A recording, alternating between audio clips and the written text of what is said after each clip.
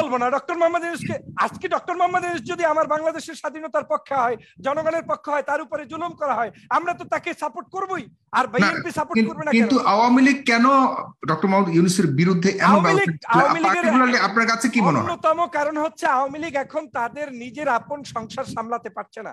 তারা এখন ভয়ভীত হচ্ছে। একদিকে তারেক রহমানকে স্বপ্ন দেখছে জিয়া পরিবারকে স্বপ্ন দেখছে খালেদা জিয়াকে দেখছে। তাদের দেখেই তাদের অস্থিরতা বৃদ্ধি পেয়েছে। মাঝখানে আবার ঢুকে পড়েছে ডক্টর মোহাম্মদ ইনুস এখন তাদের ভয় হচ্ছে এই ডক্টর মোহাম্মদ ইনুস দিয়ে বাংলাদেশে একটি পরিবর্তনের ছায়া যদি তৈরি হয় সেই জায়গায় আওয়ামী লীগের স্বপ্ন ভঙ্গ হবে। আর বিএনপি মনে করে, আওয়ামী লীগকে ক্ষমতা থেকে নামানোর জন্য যা যা করণীয়, অবশ্যই আমরা তা করব। বিশ্বের সকল জায়গায় আমরা চিঠি, পত্র আনতে আনতে ওনাদেরকে টায়ার্ড করব, অসুস্থ করব, কারণ অগণতান্ত্রিক ব্যক্তির বিরুদ্ধে প্রত্যেকটি মানুষ লড়াই করবে যেমনি ভাবে স্বাধীনতা যুদ্ধের সময়। আমরা বিদেশিদের সাহায্য নিয়েছি, দেশি বিদেশি সকল শক্তির সাহায্য নিয়েছি। আজকে দেশেও যেমন আন্দোলন হচ্ছে, গতকালকে আপনি দেখেছেন লন্ডনেও আমাদের আন্দোলন হয়েছে। এই আন্দোলন চলমান থাকবে এবং এই চলমান আন্দোলনের মধ্য দিয়েই আমরা বিএনপি সফলতা অর্জন করে বাংলাদেশে এই ফেসিবাদী শেখ হাসিনার পতন নিশ্চিত করে বাংলাদেশে একটি সুষ্ঠু, সুন্দর গণতান্ত্রিক ধারা ফিরিয়ে আনব। বাংলাদেশের মান, সম্মান এবং প্রভাব বৃদ্ধিতে যে ব্যক্তিটি অবদান রেখেছেন, তার নাম হচ্ছে নোবেল জয়ী ডক্টর মোহাম্মদ ইনুস। আমরা বাংলাদেশের মানুষের, আমাদের সবচেয়ে, আমাদের একটা দুর্ভাগা স্বভাব হচ্ছে এই যে আমরা সম্মানিত ব্যক্তিকে সম্মান দিতে জানি না। আপনি জানেন কিনা?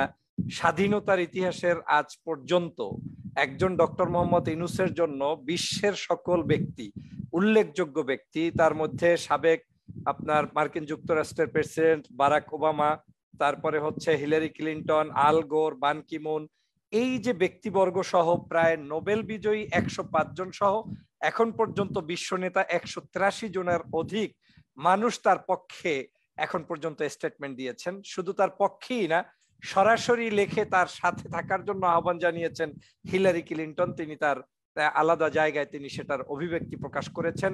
পাশাপাশি বারাক ওবামা চিঠি, এরপরে অন্যান্য ব্যক্তিদের সমর্থন, এগুলো প্রমাণ করে যে একজন ব্যক্তিটা কতটা উচ্চতায় গেলে। বাংলাদেশের সমস্যা হচ্ছে আমরা সে ব্যক্তি যে পর্যায়ে গিয়েই উচ্চতায় যাক না কেন, তাকে আমরা গ্রহণ করার মানসিকতা এবং তার সেই উচ্চতায় যাওয়ার পরে তাকে সেই পরিমাণ সম্মান দেয়াটার ক্ষেত্রে আমাদের একটি রাজনৈতিক অদূরদর্শিতা রয়েছে বাংলাদেশের প্রেক্ষাপটে। যেমনটা ডক্টর মোহাম্মদ ইনুসের ক্ষেত্রে গত চোদ্দ বছরের অধিক সময় ধরে আওয়ামী লীগ কুৎসা রটিয়েই যাচ্ছে।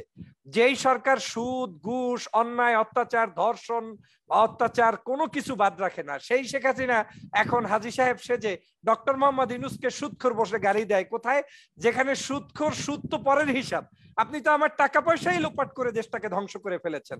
দুর্নীতি করে দেশটাকে লোপাট করে ফেলেছেন। প্রত্যেক জায়গায় আপনি টাকা, পয়সা, পরিবার, তন্ত্র করে করে, বিদেশে বাড়ি করে, বাড়িঘর করে আপনার ছেলে, মেয়ে, জামাই, আত্মীয় স্বজন দেশটাকে ভাগযোগ করে শেষ করে ফেলেছেন। অবৈধ পথে নির্বাচন করছেন। সেখানে আপনি সুদের হিসাব করেন কোন সময়? বাংলাদেশের যেই সময়ে আপনি দেশটাকেই ধ্বংস করে দিয়েছেন, অবৈধ পথে আপনি আছেন, সেই ব্যক্তির মুখে অন্তত ডক্টর মোহাম্মদ ইনুসের বিরোধিতা মানায় না।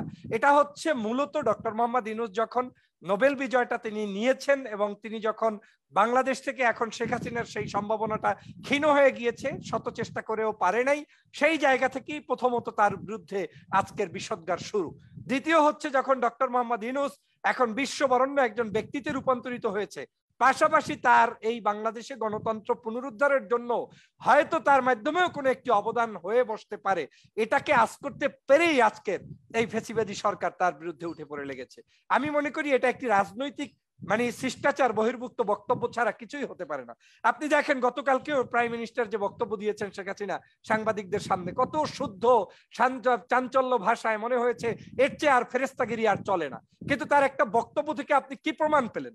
তিনি ডক্টর মোহাম্মদ ইনুসকে বলছেন যে, ডক্টর মোহাম্মদ ইনুসের বিরুদ্ধে কত মানুষ মামলা দিচ্ছে, আমরা কি এগুলো বসে থাকব? আমাদের আইন আদালত আছে না? কোথায় আইন আছে আপনার দেশে? যেই দেশের প্রধান বিচারপতিকে রাতের অন্ধকারে আপনি ঘাড় ধাক্কা দিয়ে দেশ থেকে বের করে দিয়েছেন, যে দেশের মানুষদের প্রতিদিন আপনি গুম করছেন, বিদেশ কর্তৃক স্বীকৃত আপনি র্যাবের ক্রস ফায়ার দিয়ে মানুষদের হত্যা করছেন, সেই দেশে আপনি আবার নায়ক বনে যাচ্ছেন? আপনি আবার বলছেন যে, আমি কি তার বিচার করব না? বিচার আপনার করেছেন? শেখ হাসিনার বিরুদ্ধে ষোলোটির অধিক মামলা ছিল। এই মামলাগুলোর কোনো বিচার সুষ্ঠু তদন্ত করে আপনি বিচার করেছেন? রাজনৈতিক বিবেচনায় সাবুদ্ধ করেছেন। বিচার হয় কাদের?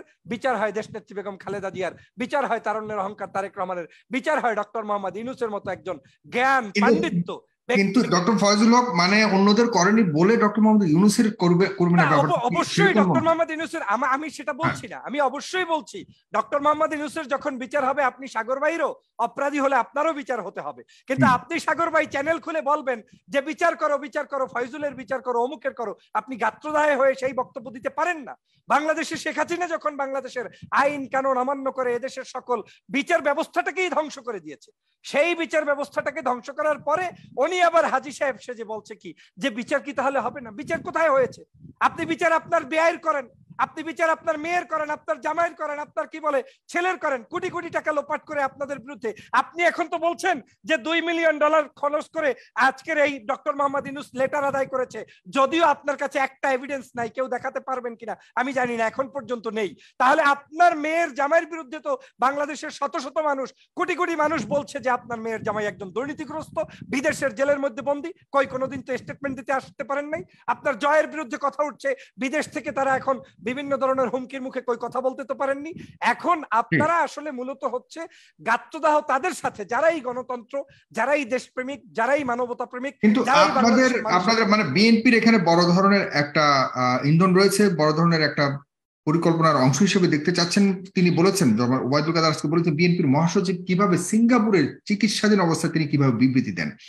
তিনিও তো সিঙ্গাপুরে যান। তিনি বলেছেন যে জনাব ওবায়দুল কাদের নিজেও তো সিঙ্গাপুরে যান। কখনো তো চিকিৎসার জন্য বাইরে গেলে কখনো এই ধরনের বিবৃতি দেন না। তিনি বলেছেন যদি তাকে প্রশ্ন করেন যে কেন একজনের জন্য বিবৃতি দিন? কেন শুধুমাত্র ডক্টর ইউনুসের জন্য বিবৃতি দিলেন? তিনি নোবেল পুরস্কার পেয়েছেন তাই বলে কি তার অপরাধ থেকে তিনি অব্যাহতি পাবেন? এই প্রশ্ন জনাব ওবায়দুল কাদের করেছেন। যিনি শ্রমিকের টাকা আত্মসাৎ করেছেন তার মতো নোবেল প্রয়োজন নাই আমাদের। এগুলা এগুলা হচ্ছে ওবায়দুল কাদের সাহেবদের এক ধরনের মানে তিক্ত বক্তব্য সবসময় তারা দিয়ে থাকেন। আপনি জানেন যে কেন বিএনপি মনে করছে ডক্টর ইউনুস একজন সূর্য সন্তান মনে করছে কেন যেখানে তার বিরুদ্ধে মামলা চলছে? অবশ্যই ডক্টর মোহাম্মদ আমরা বিএনপি বাংলাদেশের সকল জাতীয় বীরদের পক্ষে আমরা কখনোই কোনো একজন স্পেসিফিক আওয়ামী লীগের মতো করে শুধু সবকিছুই তাদের পিতা করেছে তার কন্যা করেছে তার পরিবার করেছে এটা আমরা বিশ্বাস করি না।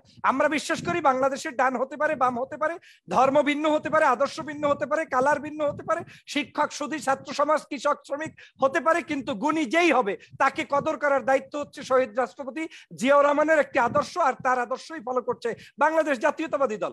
ডক্টর মোহাম্মদ ইনুস সাহেব বিএনপি করবে না বলেই যে তার বিরোধিতা করতে হবে, এটা তো বাংলাদেশ জাতীয়তাবাদী দল বিশ্বাস করে না। বাংলাদেশ জাতীয়তাবাদী দল বিশ্বাস করে ডক্টর মোহাম্মদ ইনুস বাংলাদেশের জন্য একজন জাতীয় সম্পদ, তার পক্ষে একজন বাংলাদেশের সর্ববৃহৎ দল হিসেবে যদি আমরা বিবৃতি দিতে না পারি, তাহলে বুঝতে হবে আমাদের রাজনৈতিক দন্যতা রয়েছে।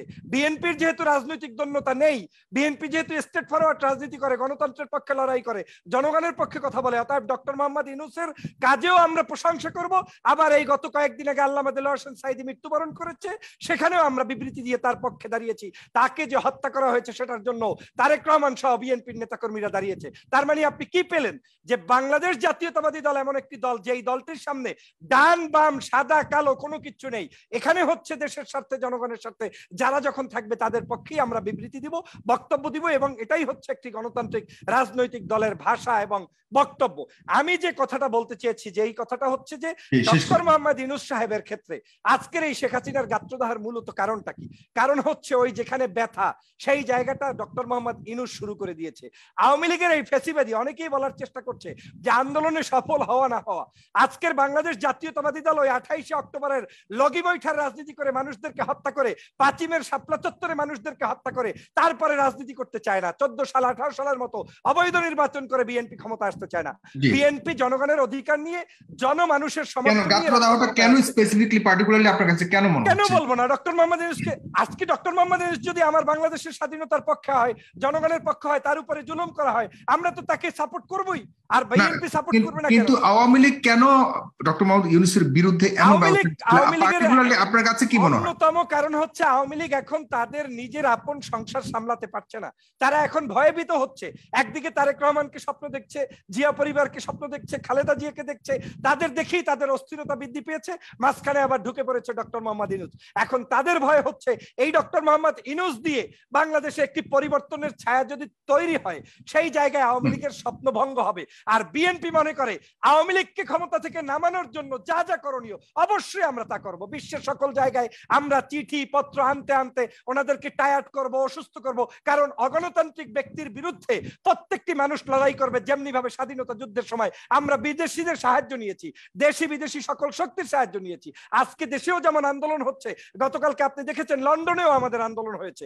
এই আন্দোলন চলমান থাকবে এবং এই চলমান আন্দোলনের মধ্য দিয়েই আমরা বিএনপি সফলতা অর্জন করে বাংলাদেশে এই ফেসিবাদী শেখ হাসিনার পতন নিশ্চিত করে বাংলাদেশে একটি সুষ্ঠু, সুন্দর গণতান্ত্রিক ধারা ফিরিয়ে আনব। আর সে কারণেই ডক্টর মোহাম্মদ ইউনুসকে একজন শক্তিশালী, অবস্থার ব্যক্তিত্ব মনে আপনাকে করে আওয়ামী লীগ তার বিরুদ্ধে উঠে পড়ে লেগেছে আমি মনে করি তিনি ব্যর্থ হবেন চূড়ান্ত ভাবে ব্যর্থ হবেন আপনাকে ধন্যবাদ।